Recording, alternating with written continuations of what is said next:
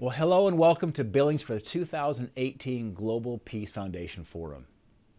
And thank you for all being here today. As a fifth generation Montanan, I know the values of faith and freedom, and they run deep throughout our state. In fact, it was Winston Churchill who said, and I quote, The destiny of man is not measured by material consumption. When great forces are on the move in the world, we learn we are spirits, not animals. I believe that every person has as his or her highest attribute a spiritual and moral essence. People develop their innate potential through their choices and their actions.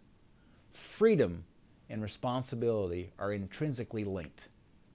And as we work together to pursue global peace, what our world needs are leaders of faith who understand the intrinsic value and dignity of all people our human nature finds its fullest expression and meaning in relation to others.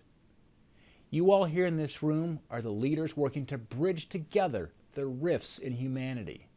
And I want to thank you for the important work you are committing your lives toward.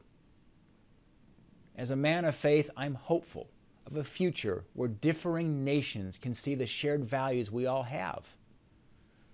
I believe the Global Peace Foundation will help accomplish that goal.